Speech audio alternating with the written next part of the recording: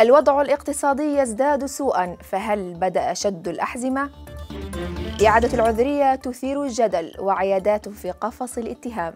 شكرا لأنك تقدم معلومات صحيحة في طلبك. مع أن نتأكد من أن المعلومات صحيحة. إرامة للمكسرات. اس اي موبلر جيب ابو كاس جيبه.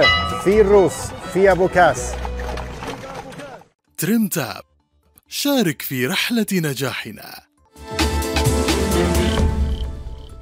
أهلا بكم مشاهدينا الكرام إلى نشرة أخبار الكومبس تقدمها لكم هدي الإبراهيم. الاقتصاد السويدي يواجه وضعا قاسيا هذا الشتاء والبلاد ستعيش ركودا اقتصاديا العام المقبل مع ارتفاع الأسعار وتراجع الاستهلاك وتزايد البطالة. هذه ملامح الصورة القاتمة التي قدمتها الحكومة عن توقعاتها الاقتصادي اليوم وزيرة المالية إليزابيث سفانتسون قالت أن هناك مخاطر كبيرة من أن الوضع سيكون أسوأ من المتوقع. الوزيرة قالت إنه من الصعب معرفة مدى عمق الركود والمدة التي يستغرقها، الأمر الذي يؤكد أهمية التوازن في السياسة المالية السويدية لخفض التضخم والتعامل في الوقت نفسه مع انكماش الاقتصاد. وتسجل البلاد سابع أعلى مستوى البطالة في الاتحاد الأوروبي وقد تزداد حالة سوق العمل سوءا وسط الركود. سيفانتسون أعلنت أن الحكومة ستقدم الأسبوع المقبل ميزانيتها الأولى التي تفاوضت عليها مع حزب ديمقراطي السويد إسدي معتبرة أن تقديم ميزانية تحظى بأغلبية في البرلمان أمر لم يحدث في البلاد منذ فترة طويلة جداً. الوزيرة لفتت إلى أن الميزانية ستكون تقشفية إلى حد ما من أجل عدم زيادة التضخم. خمس أولويات حددتها الوزيرة في الميزانية المقبلة وكان لافتا أن تشديد سياسة الهجرة والاندماج يمثل أولوية في الميزانية رغم الأوضاع الاقتصادية الصعبة. ليست السويد وحدها من تواجه أوضاعا صعبة اقتصاديا. التضخم ارتفع إلى مستوى قياسي جديد في منطقة اليورو بأكملها خلال أكتوبر. في حين سجلت السويد أوروبيا أقوى نمو للناتج المحلي الإجمالي في الربع الثالث من العام تقرير لمركز يوروستات ذكر أن الارتفاع السريع في الأسعار يلهم القوة الشرائية في منطقة اليورو ويدفع الاستهلاك والاستثمار إلى الانخفاض. في حين يتعين على البنك المركزي الأوروبي أن يشدد قبضته لتغيير الاتجاه.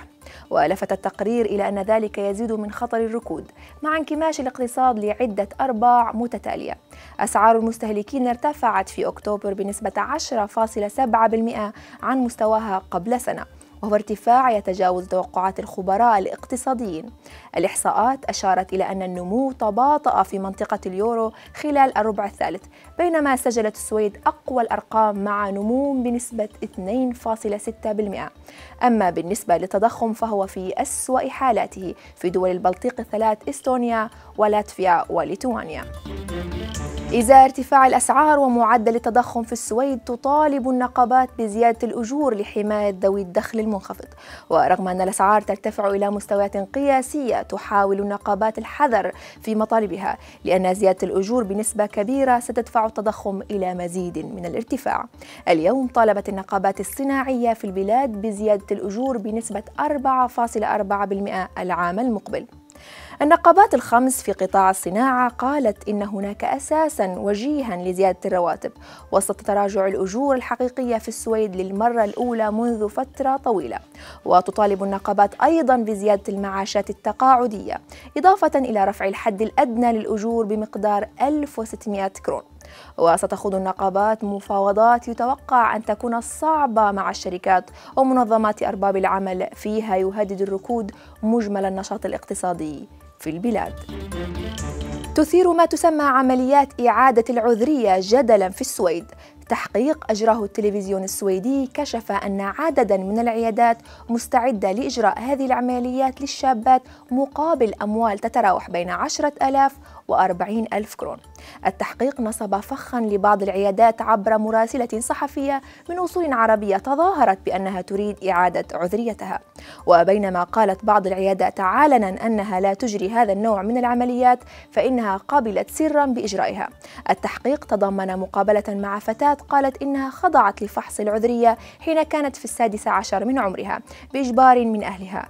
هيئة المساواة بين الجنسين اعتبرت العمليات أحد ركائز ما يسمى الاضطهاد المرتبط بالشرف مطالبة بسحب ترخيص كل طبيب يجري هذه العمليات.